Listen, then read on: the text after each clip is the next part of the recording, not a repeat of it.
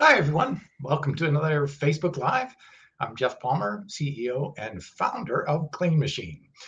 Today, we're going to talk about a pretty controversial subject. So, I want to first state very clearly and for the record I am not a nutritionist. I am not telling you how you should think or what you should do, but I get this question a lot. And the question is, Geoff, you're in great shape. You're amazing for your age. You know, you're a bodybuilding champion, uh, fitness champion, physique champion. Uh, you did the first vegan bodybuilding championship in the world. You hang out with cool um, uh, vegan bodybuilders like Korin Sutton and and uh, uh, and Monk. You know, these guys are winning shows. How do they do it? What is your macro split? So let's let's get into that. So it's it's a funny question because there for me there is no right answer. Uh, the right answer is what is the macro split that's right for you. And now there's tons of people online, uh, all the bro science and all the even well-intentioned people saying this is the macro split I use. But you know, you've got to think about what all is going into that macro split. And to, to get started, I, I want to share a video uh, link that you can watch later or anytime. Uh, but I think Dani Taylor, who um, is one of the co-founders along with uh, Giacomo um, of Vegan Proteins and uh, uh, uh, plant oh God, I'm blanking. Anyway, she's amazing. She put it together very simple, very short video on why percentage based macros don't make a whole lot of sense. So um, I am going to go ahead and post that in the comments section. Uh, do check it out. Short video explains it very clearly why percentage based macro splits. Now, okay, so let's first clarify what are macros. Macros is short for macronutrients. So macronutrients, and there is four. And that's one of the problems I have. Most people judge macros as protein, fats, and carbs. Three macros. I say there's fiber, which is the fourth. So what is a macronutrient? Macro meaning large is the first, and micro meaning small. A macronutrient is something that our bodies need in larger amounts of quantities. So, like B12, we only need an infinitesimal little amount. So, it's a micronutrient, a nutrient we only need in very small amounts. Whereas protein, fiber, carbs all require larger amounts, multiple grams of amounts, in order to meet both our nutritional needs for health, our survival needs, but also performance needs. And all of these change. So let's jump into why macros uh, are good and why not so good. um, first, it look if you are competing, if you are out there uh, getting ready for a show, that's a whole different level. I understand. I've used macros for my training uh, to get myself into the optimal shape. But once you've done it a couple of times, I, I stopped actually even looking at my macronutrient splits. I stopped even caring. What I did is look and say, okay, I'm getting a good source of proteins in, in each one of my meals. I'm getting a good source of healthy fats in each one of my meals. I'm getting a good source of fiber in each one of my meals.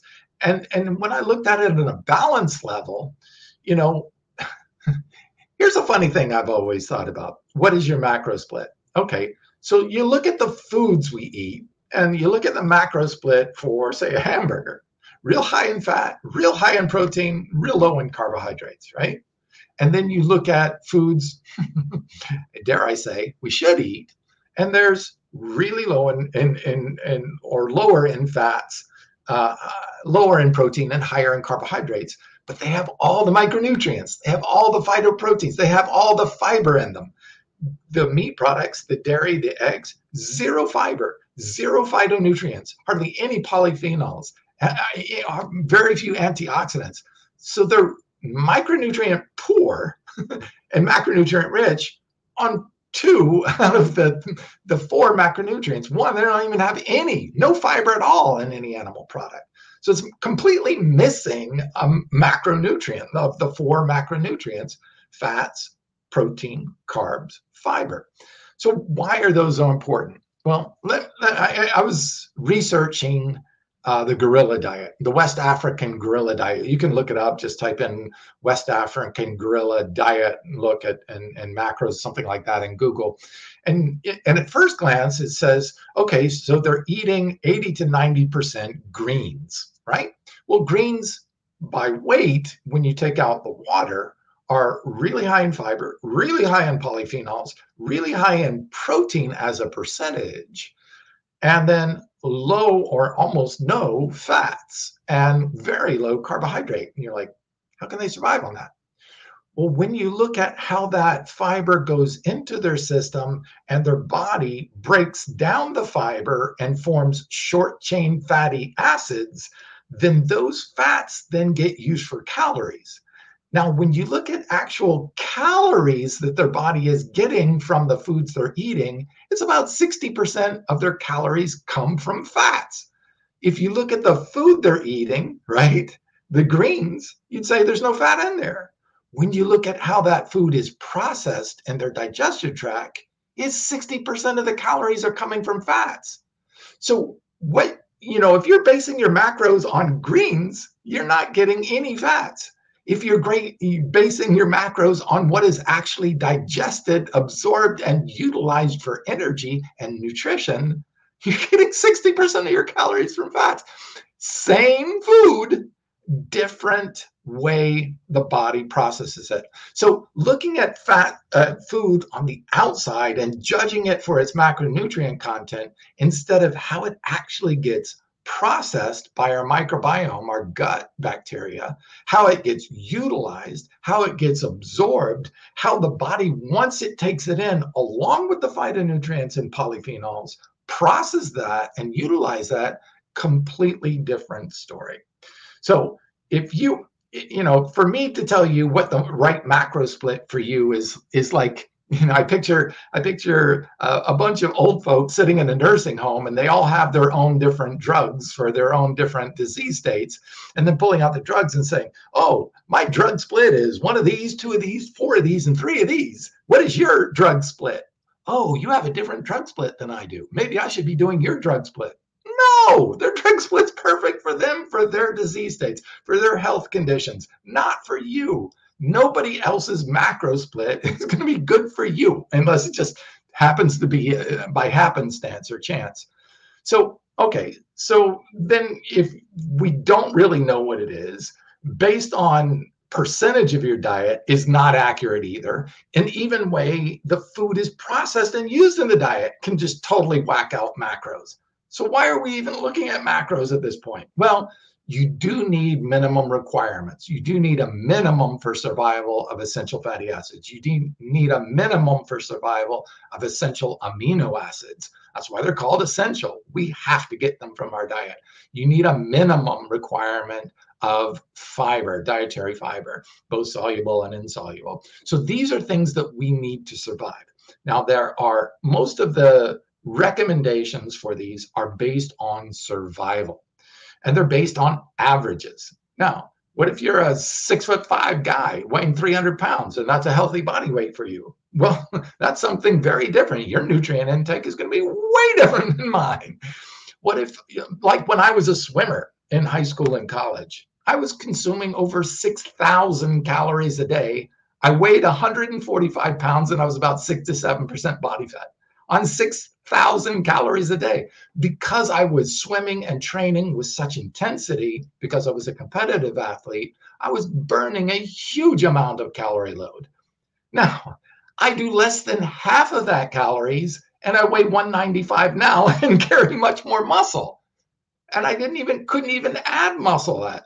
The exercise was different, the calorie needs were different, the nutritional needs were different. Same body. It's so you know when you say what is your what is your macro split? Well my macro split is different every single day because i have different activity every day. When i'm doing a heavy uh, set of heavy weights and i'm training legs or or doing compounds oh my god i'm going to use a lot more. I'm going to up my calorie load. I'm going to up my fat intake. I'm going to up my protein intake if I'm doing lightweight training or endurance type of training, I'm going to up my carb intake. I'm going to up, you know, my fat intakes because that and lower my protein intake because endurance training doesn't require as much protein intake. So very different styles of training, exact same body. As I age, I need more protein. And that's been borne out in the research. This is not just bro science you can ask any even even even the most skeptical plant-based doctors who are uh, dissing protein like it's the evil uh, gift of satan. Protein's not bad. It's where you get that protein from whether animal or plant source um, and and how much the protein and the quality of the protein is it in a whole food state? Uh, is it surrounded by great carbs and uh, other micronutrients and good sources of prebiotic fiber? And is it full of enzymes raw enzymes? All those things make a difference. Is your food cooked? Is it processed? Is, does it have things removed from it? All of those things matter. So how can you make sense out of all that? Well let's just make it real easy that's why I personally use biofeedback. I give my body certain foods and I listen to it. Deep listening. I listen to what how my body responds to that food. Does my tummy blow up? Probably not a good idea then. Am I getting more inflation, uh, inflammation? Do I look puffy in the mirror on the next day? Is that too high a sodium? Is I got bags under my eyes or dark circles? That's usually an indicator of sodium, too much sodium intake. Is my skin looking vibrant or not? That can be a difference too, because your body, when it gets toxic, one of its clear ways to eliminate toxins from the body is through the skin, the largest organ in our body. So we breathe out toxins all the time. So doing some good cardio where you're breathing really heavy, that's exchanging and expelling a lot of toxins that's awesome. If you're not doing that, if you're training just weights for hypertrophy, then you should probably increase your fluid intake. So you got to adjust these for every style of workout you do. But listening to your body is the way you can do this without trying to study a whole encyclopedia's worth of information and figure this out on a spreadsheet. That just doesn't make sense. It's entirely too much work and it's mostly guesswork. So, list learning to listen to your body. How do you feel? So let's let's talk about that. Um, before we get started i know uh, half of this title was on macros the other half was on calories. So how many calories? That's the other thing is oh what's your calorie intake for the day? Well i adjust my calorie intake based on my activity level and my intensity level and my nutrition density level Okay, so activity level is how much actually work or calorie output you're doing. If you're doing a high intense training with a lot of calorie output, uh, there's lots of com- compound motions, like playing really intense game of basketball. That's moving every single your body, swimming, really intense, using almost every muscle in your body. So you're burning a lot more calories. Higher carb intake, higher fat, which fat has almost two and a half times the amount of calories of carbs or protein. So want to make sure that goes up there because that will give you all that extra energy that your body's using. If you have low energy use, but real intense training, more uh, healthy fats, more higher proteins, and then make that calorie load appropriate to what you're doing. Like I was doing two meals a day for a while, just uh, using low calorie because that I wasn't training with such intensity during COVID. I was training just to stay in shape. Now that I'm back in the gym and training really hard with really intensity, now I'm doing the four to five meals a day because that's what my body needs. Now, here's something interesting that I hear from people all the time, which is, hey, Geoff, I'm doing the exact same thing I've always done. I'm eating the exact same calories I've always done, and I'm gaining weight. Well, of course you are. You're aging. that happens when we age. What we do is we we think that when we um, as we age, our hormone levels change, our thyroid levels change, our metabolisms levels change, but we don't change our diet. What? That doesn't make any sense at all.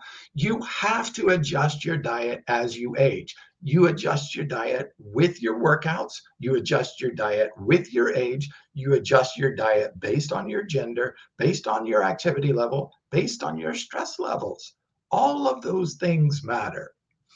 Um, so Raymond asked a question. What do you think of freshly made vegetable juices? Awesome. The only thing I um, I prefer smoothies, which is using the whole fruit inclusive of the fiber, whereas juicing removes the fiber. You can simply take some of the bulk fiber and put it back into your drink to make it more like a whole food. Uh, that fiber is important. Once you're drinking those juices with all the fiber removed out of it, uh, those sugars can go right into your uh, bloodstream and spike your sugar. So, and again, if you're doing this right after a heavy intense, intensive workout where you've earned that sugar uh, from the from the whole foods, then that's a different story. Like prior to my workout, I'll do a smoothie with lots of berries in it. They're low glycemic. They don't affect blood sugar. Actually, they can actually help lower blood sugar, like blueberries, uh, because they're so rich in fiber and pectins and polyphenols. These affect the way your body uses those calories. So it's not the amount of calories, it's how those calories are packaged, how they're utilized. And if there are polyphenols in there, uh, then they'll actually do that. There's an interesting uh, polyphenol called phlorizin in, in apples. Apples, you know, people say, oh, they're loaded with sugar, but they're also loaded with fiber. And in the skin, don't peel your apples because in the skin there's a really cool polyphenol called phlorizin. Phlorizin is so excellent at modulating sugar use. Regulate helps your body regulate that sugar use so it doesn't store as fat. So you can actually lose weight by consuming fiber. Now, if you took all the sugar out of this apple and consumed the sugar by itself, that'll go straight to fat storage. But with all this fiber and with these polyphenols, this phlorizin, this phlorizin in here is so effective, it actually protects against damage that sugar could do in the bloodstream. Uh, AGEs, um, these are uh, gly- uh, glycating end products. These are damaging to arteries, to things like this. This is what causes some of the damage to arteries to the eyes and causes blindness and diabetes, or, or to the feet and legs. So you want these whole skins, the whole foods, all the fiber intact. They actually now are taking phlorizin this the, the, what's in this apple and using it for a diabetic drug. Look it up. It's it's P H L O R I Z D I N. It's amazing. So you know some of our dr- best drugs uh, for disease states is simply coming right from nature. And when we learn about these whole foods, their nutrients, and what they can do in the body, then you are actually beginning to listen to what your body needs and nature already has them prepackaged in the right macro split. So you don't have to think about that in the right way so that those calories can be properly used by the body, not isolated nutrients. That's why I did a whole food protein. When you isolate that protein, it behaves entirely different in your body. When you have polyphenols. So when I do my breakfast smoothie in the morning, I do uh, blueberries, cherries, strawberries loaded with fisetin. That's another one, F I S E T I N. Wonderful polyphenol. Take a look at that. The blueberries, everybody knows about those polyphenols, amazing for brain health too. Um, but also uh, cherries, which are great for muscle recovery. So these are all low glycemic. They don't stimulate blood sugar, but they load the body with polyphenols. Now I've got a real rich polyphenol. And then, of course, I do the clean green protein. 69 milligrams of polyphenols in a single scoop. It is one of the most polyphenol rich greens out available as a food source. You combine that with polyphenol rich berries and cherries. Oh my God. Now you've got a polyphenol rich going into your body, protecting the cells from damage that you would do from your workout and helping your body utilize, convert fat into usable energy and feed that muscle. Um, so great polyphenols. Grapes are great in that too as well. Then post workout, I do the oatmeal, which is high in the fiber, high in, in carbohydrates, bananas. Now, here's an interesting thing. So you say, okay, I looked up bananas and it has, oh, a ton of sugar in it. You do green banana like this one. Green bananas have uh, resistant starch in them. So the exact same banana, if you looked it up on the internet, it'll tell you don't eat that full of sugars. When you're doing green bananas, resistant starches, that actually acts as a prebiotic and can actually lower your body fat, help your body reduce body fat, even with all those sugars in it. That's amazing. So a banana is not just a banana. Depends on how ripe it is. The riper it is, when you start to see the speckles on it, that's more of the starches converting to sugars, simple sugars. Now that can be good after a really intense workout, especially if you're working big body parts like back or legs. Then getting some of that glucose back into the bloodstream where your mu- muscle and bodies can use it right up and right away, that will be a great resource to refuel and re-stimulate growth in the muscles. So a banana is not just a banana. An apple is not just an apple. But now when you take that apple and make juice out of it, it's sugar water. There's nothing good about it. So eating those whole foods pre and post workout can make a huge difference. It's more about what's in the macros, what's tied, what comes with the macronutrients, which is all those micronutrients, polyphenols, antioxidants, all these rich different chemicals that the plants give that help us with uh, yes cold potatoes uh, robbie said uh, resistant starch um, there's just a great study that just came out last week on resistant starch from potatoes they showed it raised your bifidobacteria, which is one of the most common bacteria in our gut, healthy bacteria, probiotics, right? Increased it four to five times with just a few grams, eight grams of, of, of uh, resistant starch from potatoes. Having a nice big potato after your workout, give it about an hour so your body can, uh, calms down and you're able to digest that, let that blood flow back to your stomach. But yes, these are amazing ways to feed and boost your prebiotics. Uh, by increasing your probiotics, which then increase the production of butyrates, and butyrates go into the bloodstream and reduce the inflammation from your workouts.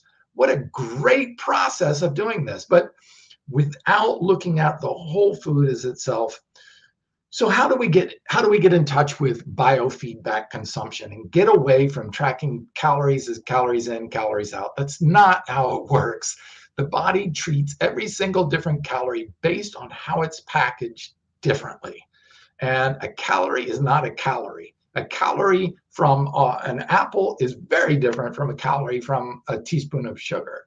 Way different, way different the way the body processes it, way different in the inflammation, way different in its storage of fat or utilization of the muscle tissue. Not the same. A calorie is not a calorie. A calorie is dependent on all the rest of the chemicals that are in there, all the fiber, all the other macronutrients that are in there.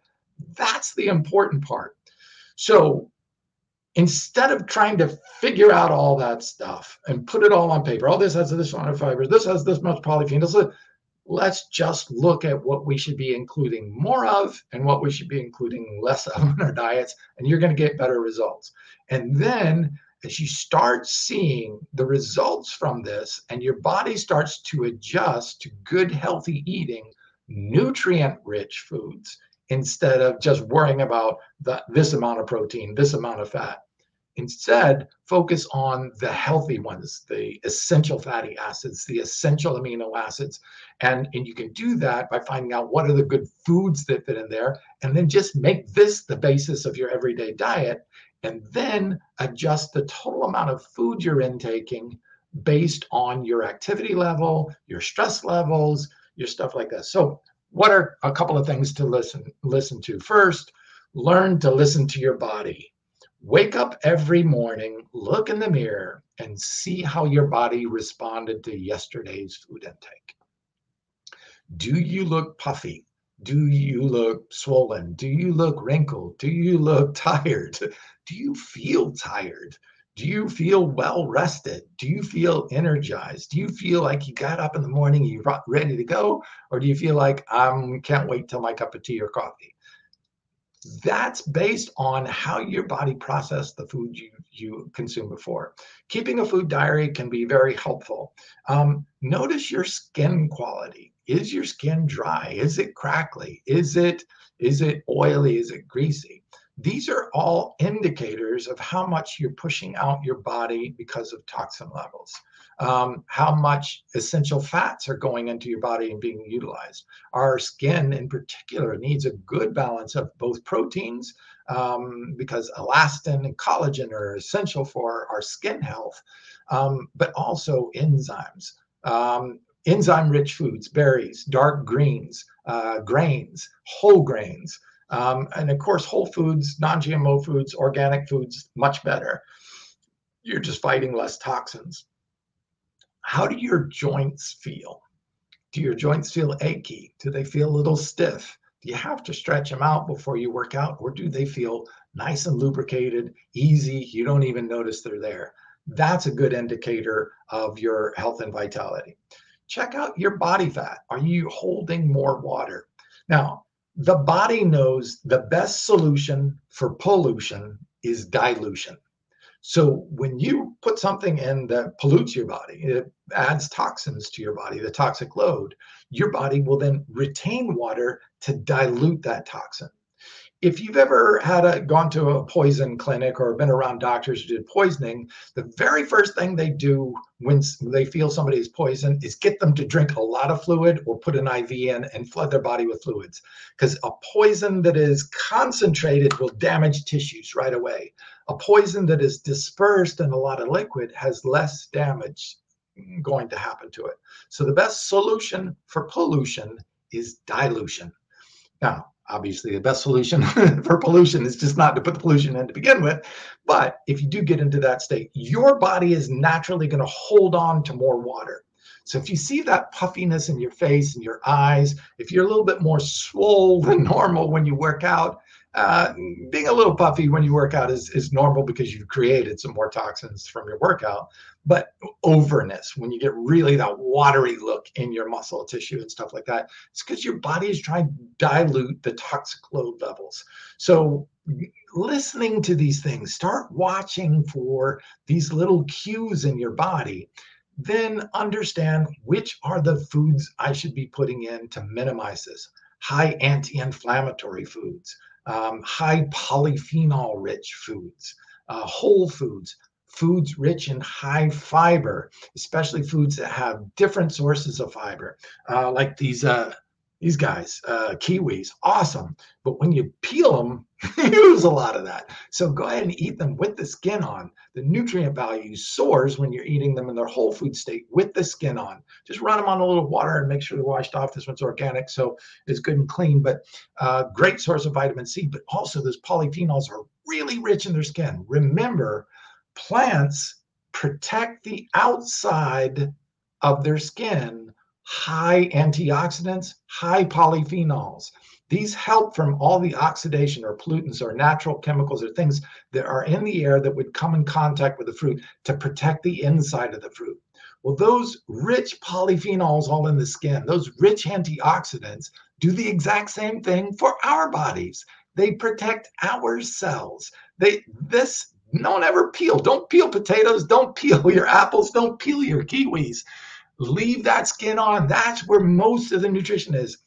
I was doing uh, research on uh, cactus fruit, right, for its uh, powerful antioxidant. Well, it uh, had a really rich source of what's called heat shock proteins. Heat shock proteins are the way our body adapts to stress. Well, this cactus adapts to stress better than any plant in the plant kingdom. That's why I use it in Cell Block 80. It helps us adapt or regulate our own hormones better than any plant ever I've ever seen in the marketplace.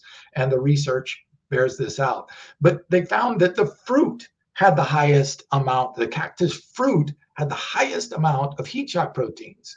And the skin of the fruit had the highest amount.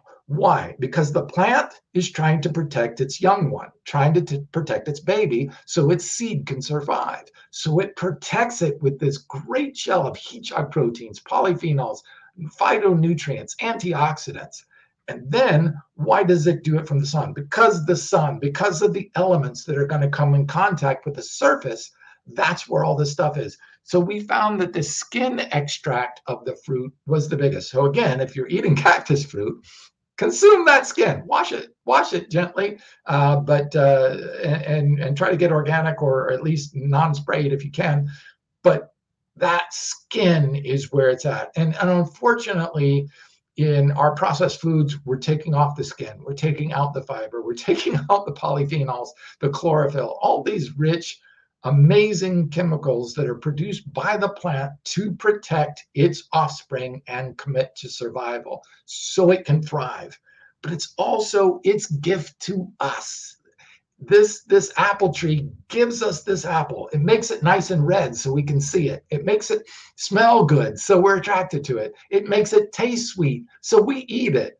Why is it doing this? So that we pick up this and then drop the seed somewhere else. Because if this apple falls right underneath the tree, the shade won't let that apple grow. So it's saying, look, I need you to help me spread my seed. Will you help me uh, grow my baby? Let my baby grow. I'll give you this lots of antioxidants and nutrients and stuff that's good for your body. It'll taste good. It'll smell good. It's attractive colors it's it's there to try to get our attention to try to get us to participate in the propagation and propagation of the plants. We can do this. We can cooperate with the plants by eating some of these amazing fruits vegetables greens nuts seeds grains. They're all giving these things to us loaded with these protective nutritional uh, aspects so that our bodies can benefit from them. It's just amazing. So that's what I'm saying is let's get away from this idea that there's a certain amount of protein. Look, you do need a, a certain amount of protein minimum requirement for survival. That's known. You need a certain amount of essential fatty acids. That's known.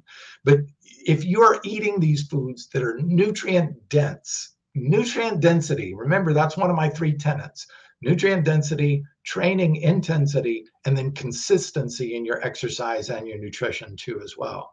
If you stick with those three nutrition density, exercise intensity, and consistency, being consistent with your diet and your exercise, you're going to get amazing results. Then listen to how your body feels, even your mood how do you feel the next day? Are you getting into arguments with people?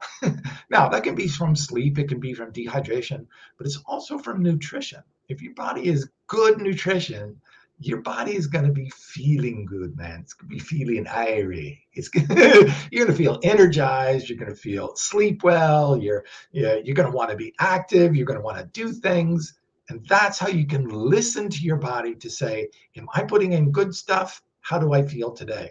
based on what I ate yesterday. So this is how we can get into intuitive eating instead of trying to figure out some macro split that works for this person and not that person. This person is male. This person's female. This guy's a six foot five, you know, 280 pound guy. This guy's a, a five foot four, you know, person. No, it's that macro split's not going to work for everybody. Going to need different caloric intakes based on their exercise, the type of exercise, their frequency of exercise, uh, their stress levels, their sleep levels, all of those things are going to impact your thyroid, your hormones, how far along you are in your diet, how far along you are in your training. That's too much to try to figure out. If you just focus on, you know, um, micronutrient dense foods, greens, grains, whole food states, fiber rich foods, polyphenol rich foods, these things will get you to that. And then start looking at your body in the mirror. Start listening to how you feel how you look overall and you will see all right i had that yesterday and i'm feeling a little achy a little puffy. I can feel my joints not so great. My skin looks a little a little crabby and then you have a great meal. Maybe I'll do all raw day or something like that. My skin looks vibrant and supple and easy. I'm not retaining any water because I'm not carrying nutrient, uh, nutritious, no bags or dark circles under my eyes. That's how you can get that biofeedback and listening to your body and adjust your caloric load, the amount of foods that you're intaking. Remember, if you really like eating, focus on foods that are low calorie, high nutrient density. Dark greens are great for that. Nothing better. Really low in calories, really high in nutrition. Obviously, that's why I chose Lentein for our protein powder. It is the most nutrient dense plant that we know of. So that's a great place to start the day.